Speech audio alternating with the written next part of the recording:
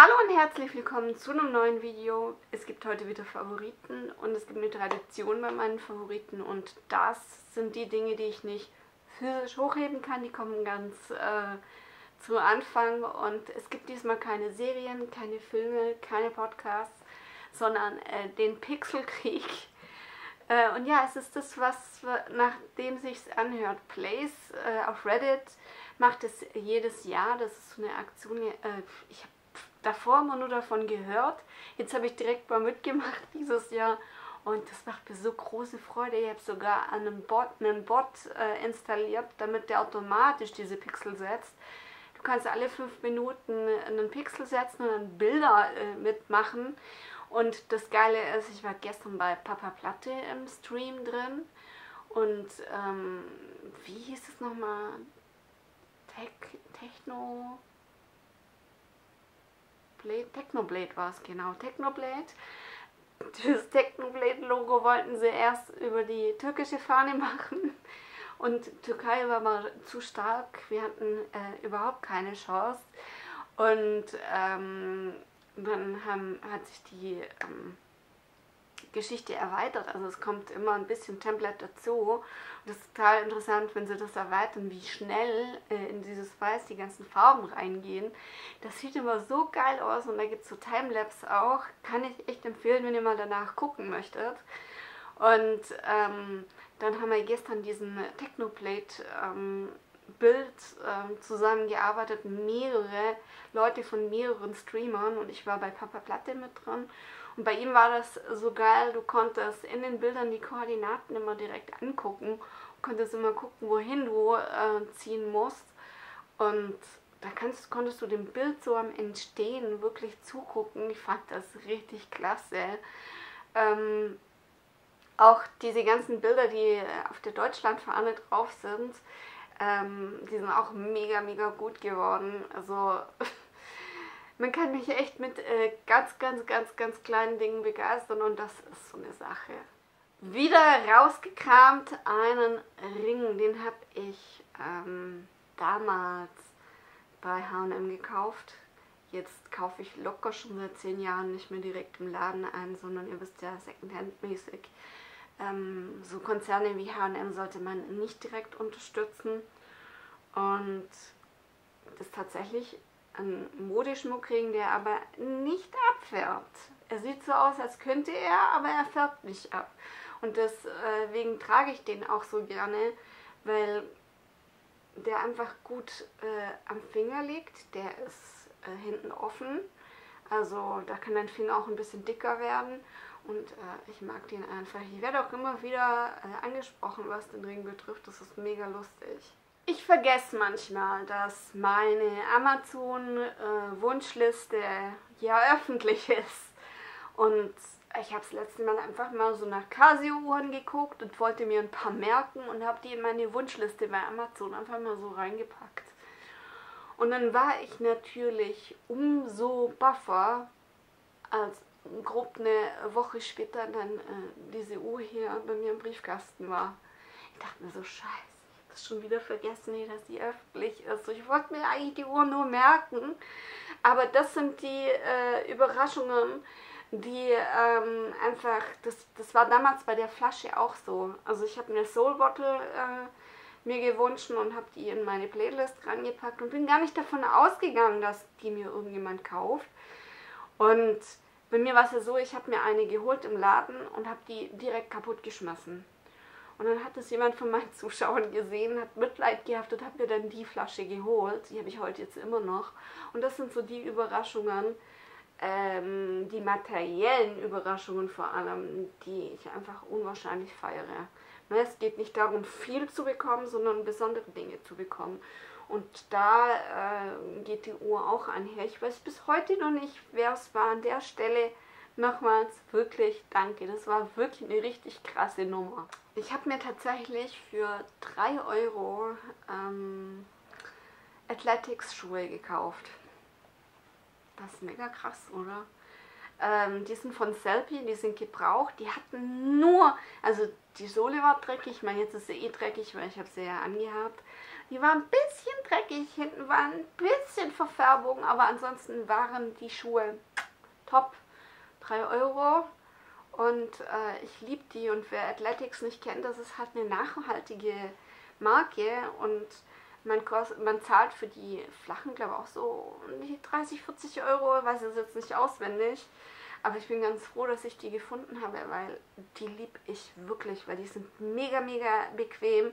Und ich wollte eh schon lange so halbhohe haben und ich musste dieses Jahr mich von zwei Paar Schuhen trennen, weil die halt einfach kaputt waren. Und da haben mir die echt äh, gut in den Kram gepasst. So eine Sache kommt jetzt, die mir ein bisschen peinlich ist. Die darf mir auch ein bisschen peinlich sein. Das ist eine Tasche, hm, die nehme ich auch. Aber bei der Tasche ähm, musst du aufpassen, das ist kein Leder, das ist äh, Kunstleder. Das, äh, die ist nicht wasserdicht, absolut nicht, zumal die oben halt nur so einen Knopf hat, was aber manchmal gar nicht so übel ist. Habe ich jetzt auch eine Zeit lang getragen. Ähm, Taschen, die für mich ein bisschen geschickter sind, weil ich immer so viel Zeug mit mir rumschleppe, sind dann so größere Taschen. Und das ist eine gebrauchte Tasche von Sir äh, Oliver. Ich habe ja gesagt, die zwei Taschen werde ich mir nicht mehr holen, weil ähm, die nur bei mir kaputt waren. Und habe dann großkotzig gemeint, ich hole mir jetzt eine aus Leder. Und die war innerhalb von einer Woche kaputt. Da war der Reißverschluss dann kaputt. Ich habe die dann immer noch getragen. Aber die ist halt so geschnitten, dass du diesen Reißverschluss halt einfach brauchst. Ich werde die auf jeden Fall nähen lassen aber das kostet mehr als mir die Tasche gekostet, äh, also als ich für die Tasche bezahlt habe, weiß ich jetzt schon. Denn ich muss sie äh, speziell richten lassen, weil wie gesagt, das ist Leder und das kann halt auch nicht in jeder nähen. Auch Kunstleder kann nicht in jeder nähen. Ne? Und ich habe erst überlegt, so wege ich ab, bringt das? Aber ich mag die Tasche eigentlich schon ganz gerne. Naja, war halt ein bisschen Pech, weil schon am Anfang mir oben so ein Ring kaputt gegangen ist. Ich musste einen eigenen Ring reinziehen. Naja, egal. Die beiden Taschen, die ich euch jetzt gezeigt habe, die habe ich von äh, Momox Fashion. Da ist man, glaube ich, ein bisschen mehr aufgehoben, was so Dinge betrifft, die ein bisschen länger halten sollen. Denn die andere Tasche ist von äh, Zelpi und ich glaube, da wurde einfach nicht darauf geguckt, was für eine Qualität das hat und das wurde auch nicht mitkommuniziert. Normalerweise wird das im Fenster immer mitkommuniziert, äh, denn ich glaube, das Ding mit dem Reißverschluss, das war vorher schon ein Defekt, den halt einfach keiner gesehen hat. Ich probiere gerade eine Sonnencreme aus. Das ist die hier von Nuki. Das ist von äh, Manuel Neuer und Angelique Körber. Äh, ihr wisst ja, ich habe ja die große getestet. Ich fand die gar nicht gut. Also auch im Körper finde ich die einfach nicht gut. Das ist kein schönes Gefühl. Ich dachte mir aber, zwei Sportler müssen eigentlich ja ein bisschen eine Ahnung haben, das ist schon ein bisschen dreckig, müssen eigentlich eine Ahnung haben, was äh, so Produkte betrifft, weil du möchtest ja dementsprechend gerade wenn du als Fußballer oder als Tennisspielerin die ganze Zeit der Sonne ausgesetzt bist, dann brauchst du gute Produkte. Und äh, ich dachte mir, komm, jetzt gibt es der ganzen Sache nochmal eine Chance. Die ist bis relativ teuer. Du kriegst nur 30 Milliliter für, ich habe 15 mit Porto äh, bezahlt. Das ist halt schon viel Geld. Aber die ist, auf meiner Haut zieht die Creme weg. Das könnt ihr euch nicht vorstellen. Du hast wie so einen Lack dann auf der Haut.